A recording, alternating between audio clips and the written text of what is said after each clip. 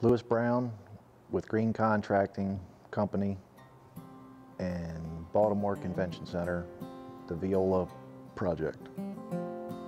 Demoed a chiller plant and rebuilt the chiller plant on the upper level penthouse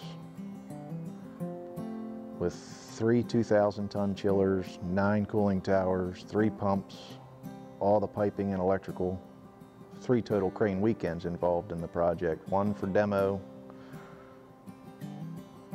one medium-sized crane for the setting of the cooling towers, and then the 950 ton crane for the chiller setting. To do the demo in the chiller plant, everything had to be done by hand. Cut down to size, small enough to manhandle, removed in a freight elevator, down to the loading dock, put in a dumpster by hand for a few weeks.